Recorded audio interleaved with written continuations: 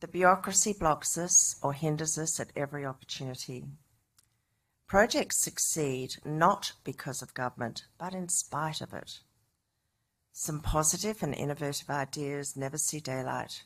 New projects such as gas, coal, necessary for reliable electricity, thwarted, and the cost of a zero emissions economy continuing to haunt us.